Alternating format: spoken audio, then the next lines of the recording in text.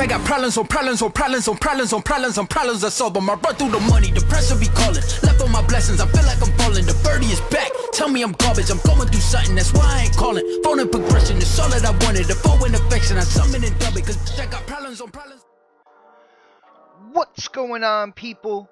It's the Xbot 448, and today, guys, I got a really interesting video for you. Uh, of course, it's about the next series of hardware that's ready to drop in 2020. Um, unless you have been, you know, living under a rock or something like that, you know that Xbox came out first in unveiling, actually showing their new system. And and with that, of course, you know, you always get some details about the power, about uh, features, about things that the company is doing to improve the gaming experience. So, with the brand new Xbox, which used to be called Project Scarlett, but now we know it as Series X.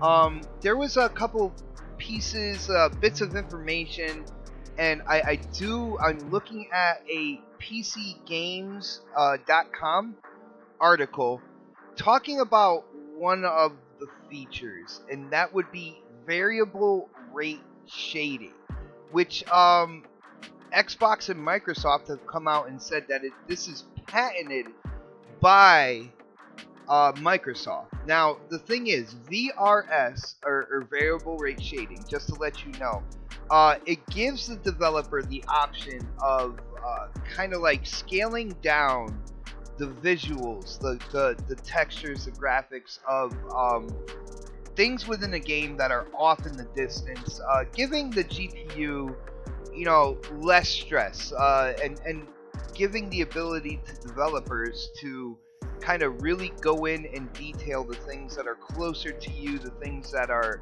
uh, that you're going to interact with, stuff like that, and and kind of like the things that are off in the background, the things that you're not really paying attention to, uh, you know, could be scaled down, which which is awesome. It, it deals with optimization and getting the most out of the hardware when you're developing a game. Now, um, first off, people were confused as to why this was patented because Vulkan, the API, uh, you know, that kind of is is the I guess you could say competition for DirectX 12, uh, also has a VRS function. So, you saw the title, you know, uh, kind of like Xbox forcing Sony's hand. And here, here's the reason why I, I'm saying that. Because with DirectX 12, you have this VRS option. And from what I am looking into in terms of research, Microsoft's VRS option is like head and shoulders above anything any other company is doing right now to the point where, from what I'm seeing, third-party developers are, are really, uh, you know, getting into using this DirectX 12 feature or tool in in developing games. Now, the reason why I'm saying that this is putting kind of like Sony in a corner here, uh, for people who don't know, Sony does not, the PS4 does not kind of like. It, it can't utilize DirectX 12. They went with uh, what they call OpenGL, which is a different API, uh, different set of tools, uh, you know, to make games, to develop games or whatnot.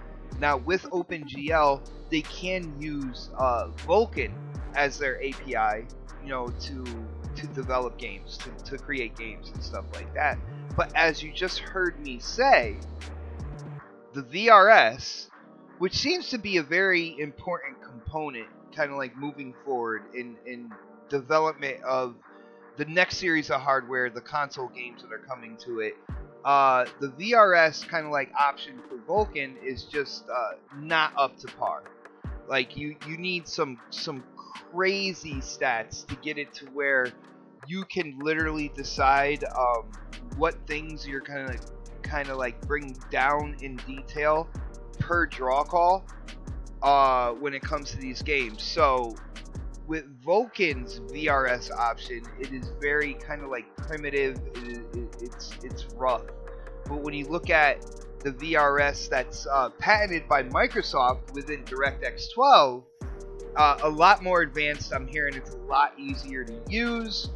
So, with that being said, the reason why I, again, am saying that Microsoft is possibly kind of backing Sony into a corner here is, you know, when it comes to Microsoft, you know, they, they have gotten a, a bunch of middleware, they've gotten a bunch of, like, you know, physics engines and stuff like that that a lot of a lot of developers use for games. So basically, um, Microsoft and Xbox, they got their fingers in everything, right? Uh, and, and this is just another aspect of that because if developers are really digging the tools for DirectX 12, and we know PS4 does not support DirectX 12, when it came down to it, you know, it was OpenGL. You use Vulkan with that, I believe, and uh, you know, for games that are made with DX12 or whatnot, you know, the multi-plat games, um, they actually had to refer back to DirectX 11 uh, to create the game for the PS4 because DirectX 11 was also acceptable as an API for the PS4. So with with such an advancement in VRS, and I haven't seen, I'm doing the research, I haven't seen anything to where, you know, Vulkan is upgrading the that that option, that tool, uh, when it comes to developing with that API. It looks like Microsoft might be getting to the point where Sony kind of has to use DirectX 12 moving forward. Now, the thing is, if they don't, if they don't, if they stay with a, a, a version of OpenGL, again, it, it doesn't support DirectX 12 or anything like that.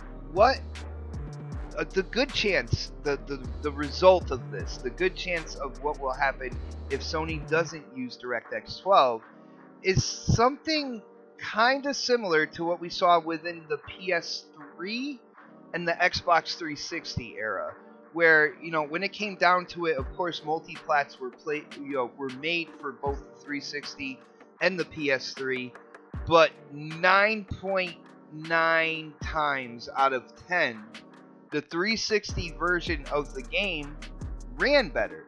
It had less glitches, less frame drops, stuff like that. Just overall ran smoother.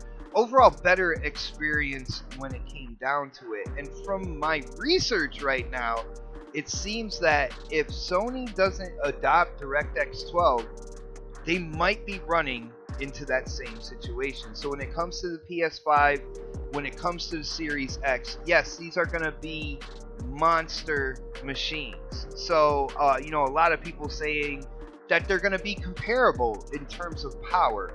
So any little kind of like benefit that either one of these companies gets is going to be a major step within kind of like comparing both of these consoles. So, you know, if you have one system that just overall plays like multi-plats uh, smoother, you get less glitches, you get less like frame dropping, uh, stuff like that. If you get one of those consoles that plays the multi-plats like that and plays it better, a lot of people will lean more towards that console. I, I would think it's it's common sense in my opinion because at the end of the day, yeah, exclusives give like the personality, the atmosphere of of a console, but for the most part, the, the games that are played the most are are multiplats.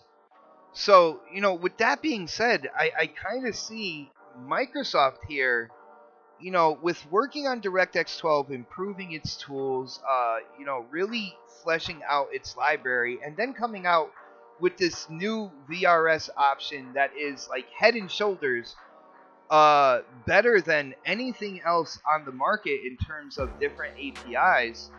It seems like Microsoft is kind of forcing Sony to look into DirectX 12 as their native API when it comes to the PlayStation 5. Now, again, if they don't do this, there could quite possibly be issues where, like I stated, went back to the 360 PS3 generation, where you know multiplats um, just ran better on the 360.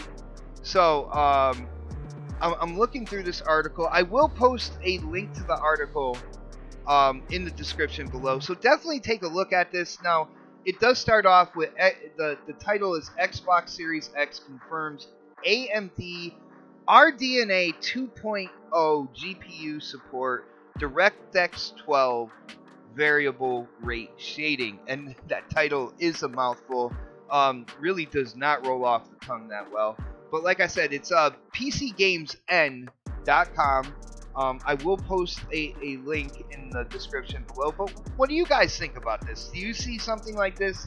Does this make sense to you? Are you into the tech? Kind of what's under the hood? Um, are you interested in, in news like this? Because I find this fascinating because you know, uh, you know, certain physics engines and, and, and stuff like that Microsoft has acquired. So this way, they are they are pretty much like I said, they have their fingers in everything. Just about every game that is developed has something from Microsoft, um, and it seems like with their advancements, they're they're pushing forward and they're kind of pressing Sony to use their flagship API with DirectX 12. Um, as usual, guys, hit up the comment section. I want to know what you think about this. I want to know if you think this is all fluff. Of course, we're going to go back and forth. I will let you know. I am in my element right now. Like, when they come out with information uh, that really goes under the hood of new systems, they talk about new uh, new hardware, uh, new features, stuff like that. That's where I really love to be. That is some of the, the news I really have fun making videos for. So definitely hit up the comment section. I want to know what you think about this, guys. Um, it's going to be interesting. It's definitely going to be interesting. I'm going to keep my eyes on this and see if there's anything more that comes out of this. And of course, any other features, any other you know hardware improvements. I know I I have to make my my video about the Series X and what I think about you know the look, the name, uh, the different specs that we've gotten so far. Because you know uh, if I don't do it, everybody else already did it, man. I got to do it, right? Um, but yeah, so let let me know what you think about this. I, I again, it's very interesting to me. But uh, as usual, guys, if you like the topics, you like the gameplay, definitely hit that thumbs up button for me, as it does help this channel out a lot. It helps get the video out there. It helps to get more eyes on the video, and of course, you know, people can put down their opinions in the comments, so we get a more varied kind of like. Uh, more varied opinions in the comments. It just overall helps. Uh, if you haven't subscribed, definitely subscribe. But as for now, this is the XBot. 448. And I am definitely signing off.